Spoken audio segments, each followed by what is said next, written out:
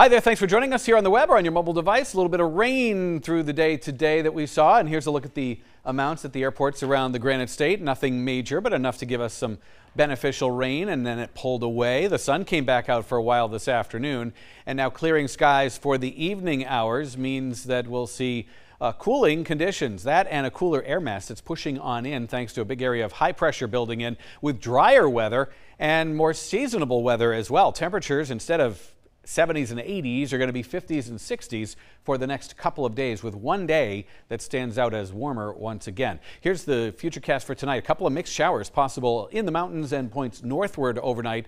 Otherwise, it's clearing skies and even in the mountains that start off with clouds on Thursday morning, we'll see by the afternoon the sunshine coming through, and then that sunshine sticks around right through Friday and much of Saturday as well. So a calming trend in the weather for sure. As we look through the nighttime hours tonight, it's certainly cooler for the lows and tomorrow cooler highs, upper 50s and lower 60s in most of the state, a little bit cooler in areas from about the lakes region on northward and breezy on Thursday, but then the breeze dies down for Friday and more sunshine, couple degrees milder on Friday. Real nice day is on the way, but much more spring-like. That's what you'd expect this time of year. More of the same on Saturday, but Saturday the clouds start to thicken up in the afternoon.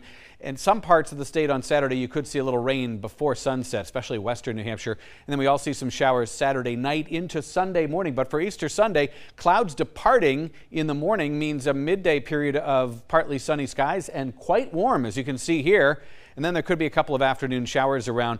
Behind those showers, the cool front brings more cooler and spring like weather on the way for next week. That's your forecast. We thank you for joining us and hope you enjoy the rest of this week.